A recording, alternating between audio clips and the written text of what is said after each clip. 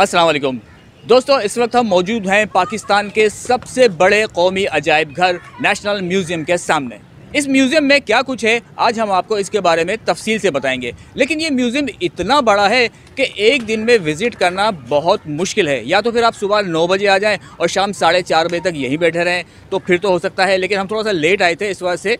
पूरे म्यूज़ियम का विज़िट मुमकिन नहीं हो सका। आज हम आपको इसका थोड़ा सा हिस्सा दिखाएँगे और बताएँगे कि इसमें क्या कुछ है। अजायब घर के हवाले से पाकिस्तान में दिलचस्पी बहुत कम पाई जाती है। लोग यहाँ बहुत कम आते हैं। पाकिस्तान का कोई भी अजायब घर हो, वहाँ आपको रश नहीं मिलेगा। वजह यह है कि यहाँ चीज़ें कुछ बोर कर देने वाली होती हैं। अब लोगों को तो एंटरटेनमेंट चाहिए। हल्ला गुल्ला मौज मस्ती तफरी, यहाँ ऐसा कुछ भी नहीं है। लेकिन यहाँ जो है, वो और आपको कहीं नहीं मिलेगा। यहाँ तारीख़ है और तारीख़ इंसान को बहुत कुछ बताती है। माजी में झांके बगैर आप मुस्तबिल का सफ़र तय नहीं कर सकते। हमें मालूम होना चाहिए कि हमारे आबाओ अजदाद कौन थे, कैसे थे, उनका रहन सहन कैसा था। इस बारे में बहुत सारी तफसीत हम आपको आज इस वीडियो में बताएँगे तो चलिए शुरू करते हैं।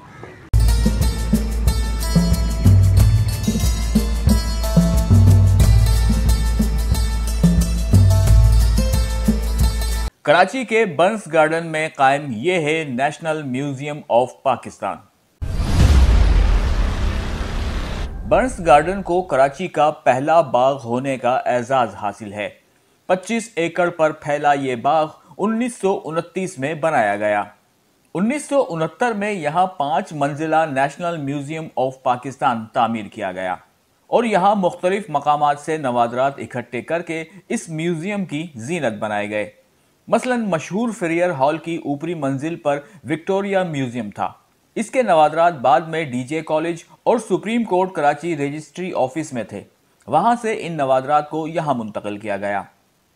इब्तदाई तौर पर यहाँ दो या तीन गैलरियाँ थीं, जिनमें कुरानिक गैलरी और गंधारा आर्ट गैलरी शामिल थीं।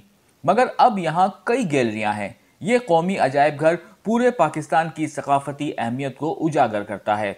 जहाँ पत्थर के दौर से लेकर कयाम पाकिस्तान तक की पुरानी और नादिर अशिया रखी गई हैं। इसकी टाइमिंग नौ से पाँच है और बुध के दिन ये ऑफ़ होता है। इसमें एक से दो बजे लंच ब्रेक और नमाज़ ऑफ़ होता है। बुध का दिन जो ऑफ़ होता है हम लोगों का तो बेसिकली ये इंटरनेशनल ऑफ़ है। तमाम म्यूज़ियम का इस दिन ऑफ़ होता है। यानी पूरी दुनिया में अजायब घर बंद होते हैं बुध के दिन? अच्छा।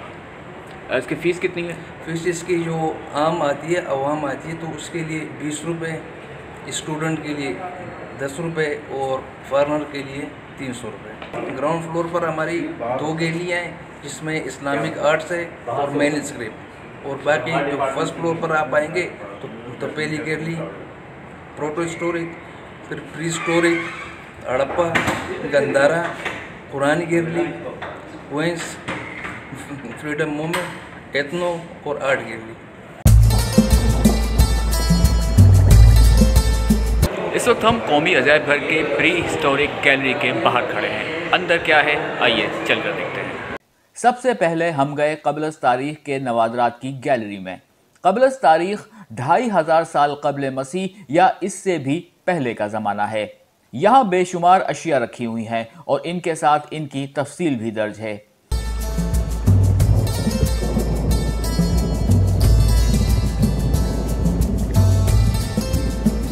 यहाँ से निकलकर हम आए प्रोटो हिस्टोरिक गैलरी में। ये ढाई हज़ार से पंद्रह सौ साल कबल मसीह के दरमियान का दौर है। यहाँ हड़प्पा समेत मुल्क के मुख्तलिफ़ हिस्सों से दरियाफ्त होने वाली अशिया रखी गई हैं।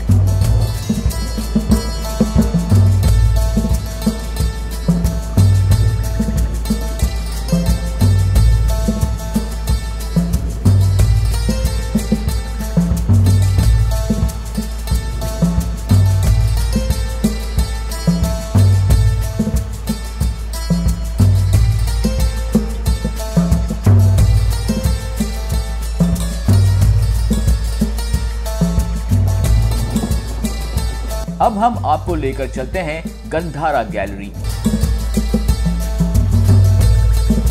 ये अभी हम आपको लेके आए गंदारा गंदारा सिविलाइजेशन और अंदर आप इसमें देखेंगे कौन कौन से एंटीक मौजूद है। इसमें बुद्धा की पैदाइश से लेकर उसके अमवात तक तमाम चीज़ें मौजूद हैं। गंदारा का मकसद है फूलों की वादी।